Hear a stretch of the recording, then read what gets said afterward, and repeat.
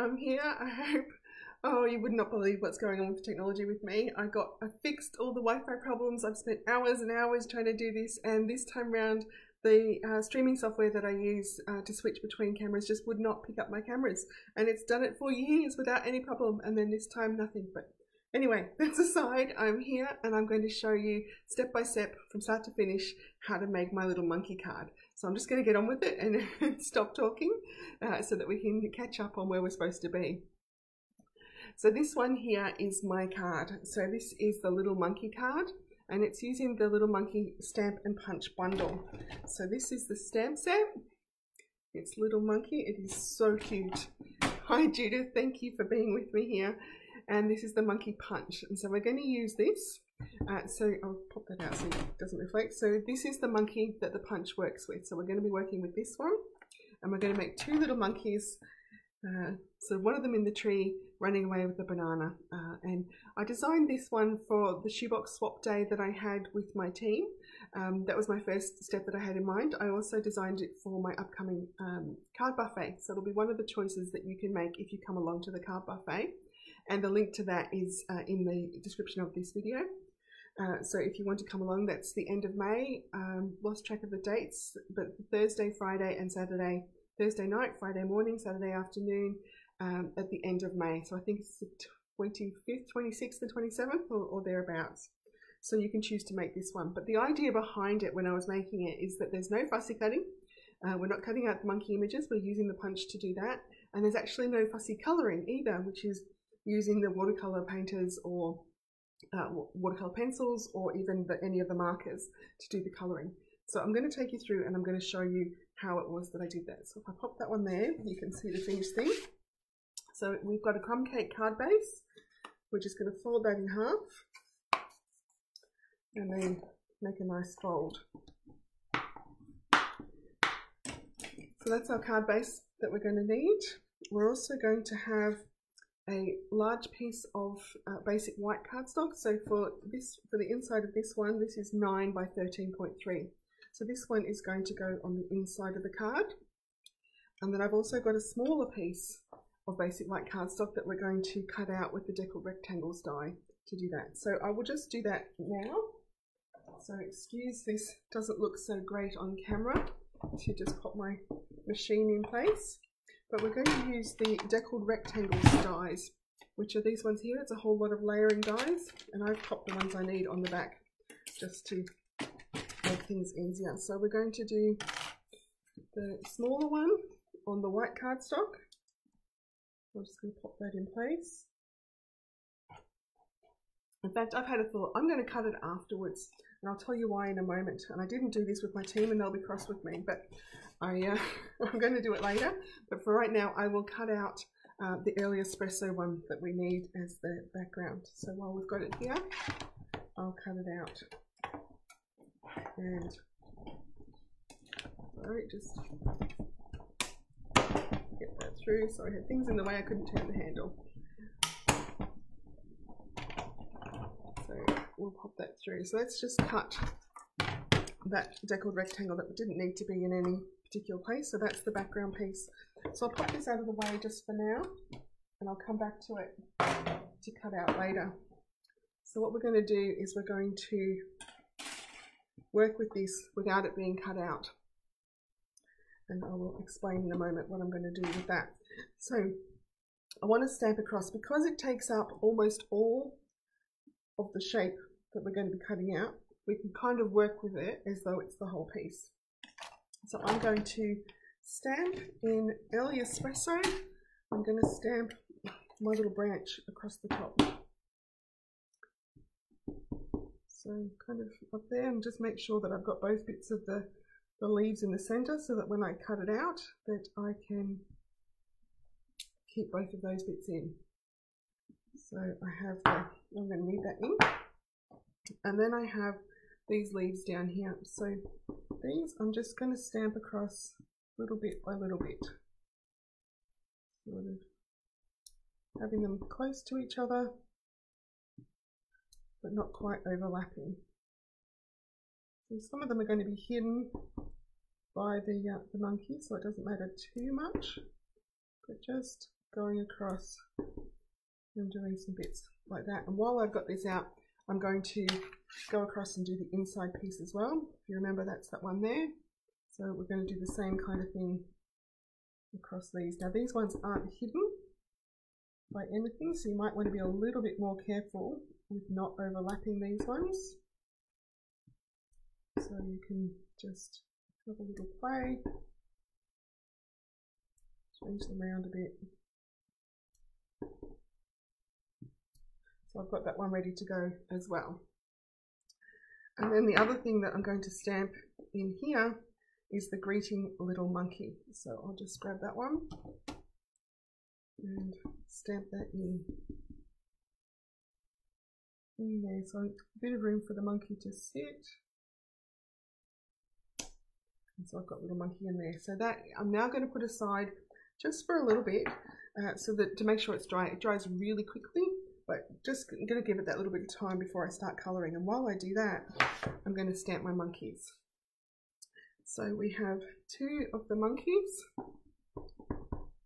that we're going to put. So it's always a good idea to check your punch and to check which way in they go. So it's going to go in this way.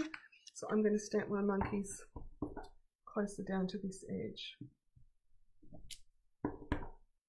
And check how much room you need for the extra parts of the punch that might cut out other things.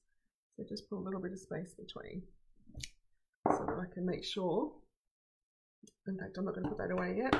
I'm going to punch my monkeys out. So you use the punch upside down. So when you've got one of these punches, it has a little lock on. So you just unlock it and then holding it upside down, you can see where the monkey's supposed to go. In that. And then you can squeeze it with both hands. So it's kind of like tongs. If you hold it like this and give it a little squeeze. It's in there, it's not moving, and I'm just, I'm barely touching it.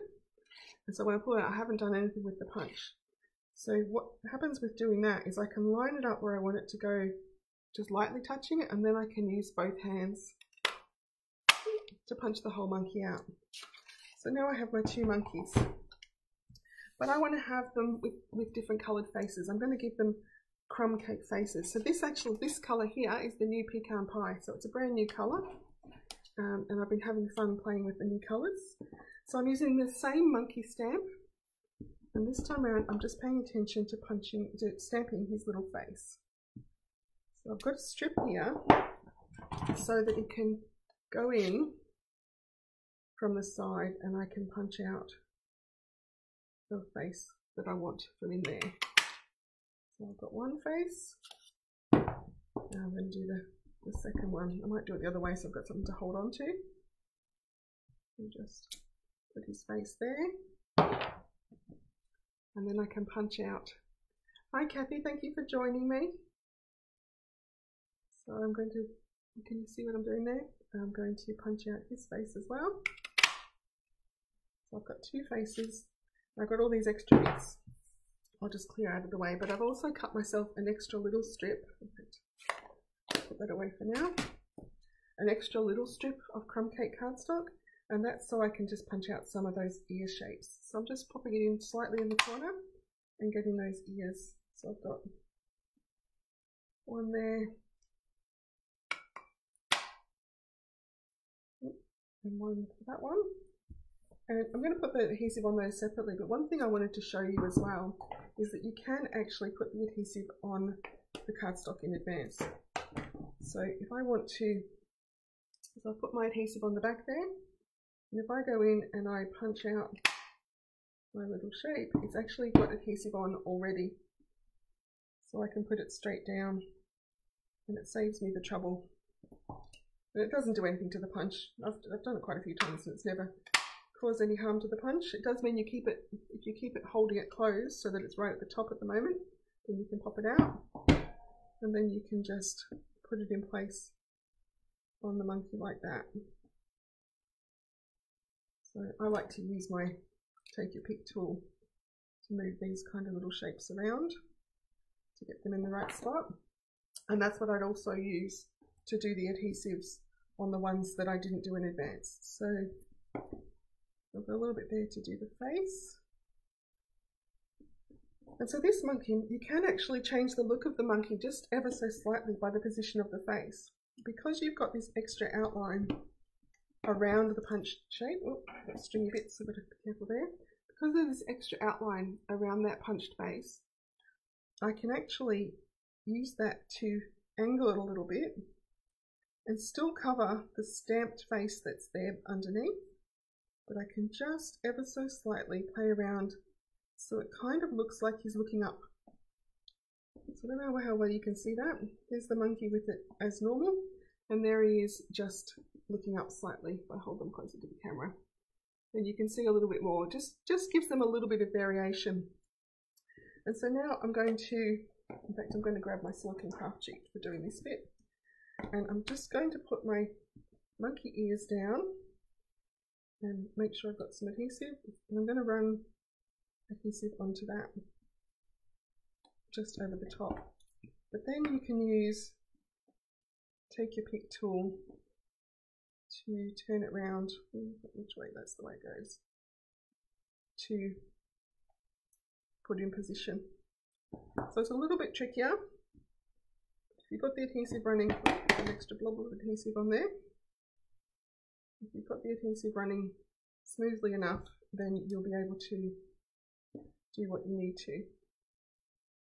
And then I'm using the adhesive that's on the, the cardstock to stick it to my tool. If I didn't have any adhesive there, I'd be using the other end with the putty on. So I've got my two little monkeys ready to go. Now I need the banana. So I've got some Daffodil Delight cardstock here for the banana. So we're just going to stamp that again. We're stamping all of this in early espresso. Just get all the pieces ready. Uh, so you just stamp that one. I think I'm done with my stamping now, so I'll close that up. So again, you're just popping it in the punch. So you put it in there, give it a little squeeze, and then we've got the banana and all those extra bits as well. So just move those out of the way. And then you can put a little bit of adhesive on the banana to just let the monkey hold it. So just give it to his hand like that. So I've got my two monkeys. I've got my inside panel. I've got my front panel. So my monkeys are going to sit on here pretty much like that. So I'm just going to add that colour now. So that's done using the blending brushes. So I just give myself some space. And I'm going to start with crumb cake. So it's a really light touch with these. The crumb cake is just along the branch and it's a tiny, tiny bit just to add a little bit of colour there so that it doesn't look like I forgot it. So I'm just using the small blending brushes. Uh, so these ones are much easier to be precise with what you want. So just adding some ink and then just kind of testing how much is there and then start from off your page. So always start in your scrap paper and then just add a little bit of colour going in where the branch is. So I'm not stressed that it's going out of the lines, it's just adding that little bit of colour and letting it blur just a little bit. So then I'm going to add my greenery. So with, for that one I'm using Parakeet Party. It's a nice bright green and we're going to just do a little bit of colouring. Now I'm going to start down at the bottom here. So try to avoid places where you put um, colour on your scrap paper as well because you can drag some of that through. So start off and then just add the colour to where the leaves are. Start off and get the darkest bit of the colour and then start going all the way up to where the leaves are. Then you can do as much or as little as you want. You can keep it subtle or you can keep adding colour for extra depth to it. So now again I'm, I'm re-inking with the brush but I want to get the worst of it off there and then just doing a little bit where these leaves are. So it's not taking it straight from here onto my project because that can leave it uh, making little blobs that I don't want to have there. So a little bit of a delicate touch with this one because you don't want to um, get too much ink on those places. So while I've got this one out, I'm going to do my inside panel as well. So just inking that up. Oh, my monkey's got in the way. Didn't realize he was down there and then just adding that colour So this is going to stand alone. There isn't going to be a distraction. So this is background and foreground if you like. So uh, it's a little bit more important that you get this one right because this one is going to fade away behind the monkeys and things. So just adding that the amount of colour that you want in the places that you want it. Uh, like I said, as much or as little as you want. So that one's going to go on the inside. So that's all I need for my green. So now I'm going to add some of the sky. So for this one I'm using the Pool Party ink and I'm just going to fill in the places that the sky will be. So fill in the white spaces basically uh, on this one. So again move over so that you're not picking up colour from something else and just add in a little bit of colour. And now this is why I decided that I would colour it, but cut it after I coloured it. And I will show you in just a moment. So you don't have to, you don't have to do a lot. We're just adding in, filling in the spaces. Just keep your brush moving all the time. So always start off on your scrap paper and then just keep your brush moving. And so I kind of like that the colour isn't even and it's in a few different kind of halo areas around the shapes. And like it's a background, so you won't see a lot of that. So that's as much as I need on there. And that's all the colouring I'm going to do. So punching out, colouring with the blending brushes makes it much quicker and easier. Now what you can see here is I've got some darker marks on the edges. So even when I start off my page and then move onto it, sometimes those darker edges can come in. And that's why I decided, I need to find my, the right die now. This is the wrong die, this is the big one. Here we go. That's why I decided that I would cut it later. Because even though I've tried to not get those big dark blobs on there by starting off, you do sometimes get a couple of them. And I managed not to on this one here when I was doing it, which is great. But if I did, then now if I cut it down, then those very, very edge parts are cut away. So I will just pop these aside a bit so that they don't get squished. Bring in my Stampin' Cut and Emboss machine and I'm just going to show you how I put that together. So if I put my piece down there, hopefully you can see that. And I'm going to put this one down. So check where the cutting part of your die is. So this one's fairly close to the inner edge.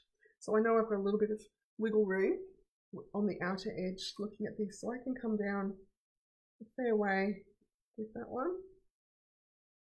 And then just cut it from there. Put my plate on top and ooh, that's not going to help. So I'm going to put it back in position move the punch out of the way, which is what's going to stop me from turning the handle that you can't see.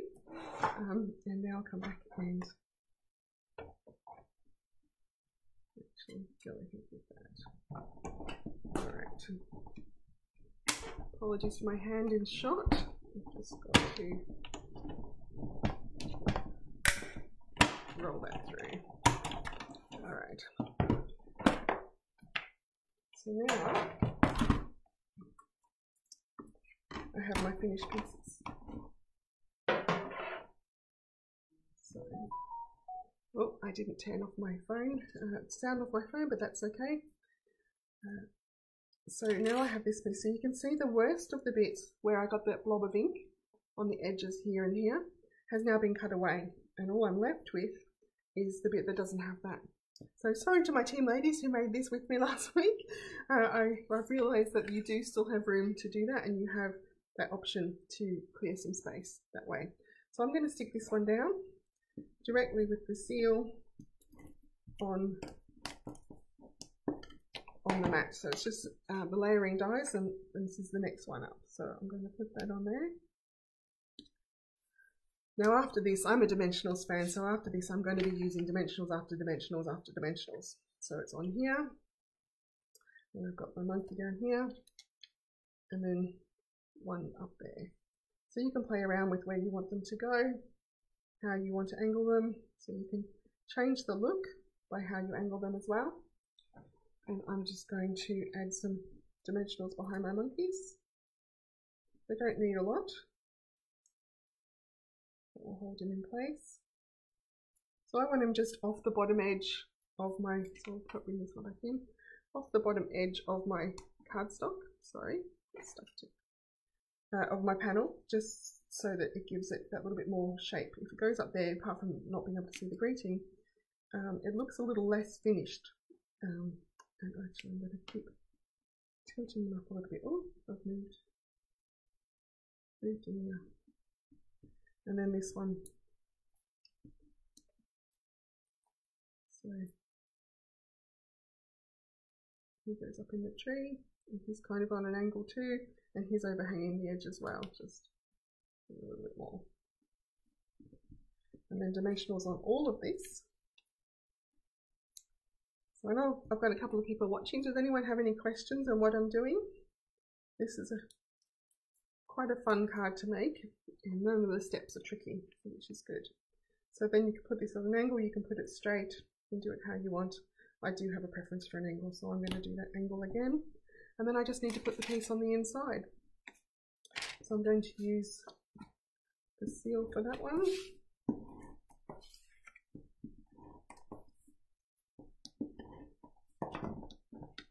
And pop this panel on the inside just like that. So it's all ready to write on. It carries the idea through from the front to the back and I've made my little monkey card. I hope you've enjoyed that. I hope you can see how quick and easy it is to do and that you'll choose it when you come along to my buffet. So thanks once again for joining me. I'm glad to have you here. I hope you've enjoyed the little monkey card. Uh, if you have any questions, even if it's uh, watching the replay, then do feel free to ask. Um, and yeah, hopefully I'll see you at my catalogue launch card buffet, which is coming up at the end of May. So thank you. Bye bye.